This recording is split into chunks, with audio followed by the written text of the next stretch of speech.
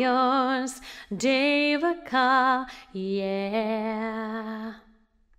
One happy birthday dot com.